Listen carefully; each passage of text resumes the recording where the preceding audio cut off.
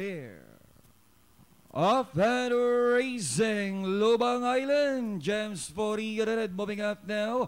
Is San Luis Daroriense is the favorite. Follow the ruler. Bread and Butter is racing in fourth. Daroriense in fifth is Wildcat and trading the group is Peerless. Three entries. And now fighting it out for the leads now. Lubang Island, follow the ruler. Driving back in 30, San Luis, then followed over by number two, Bread and Butter, Wildcat and Peerless is still in behind behind them. And at the fourth turn, two and three, so now matching their strides together. The lead now belongs to the favorite Follow the ruler by Aleng Ganehap now over Lubang Island. Coming closer now once again is San Luis. Here comes Bread and Butter.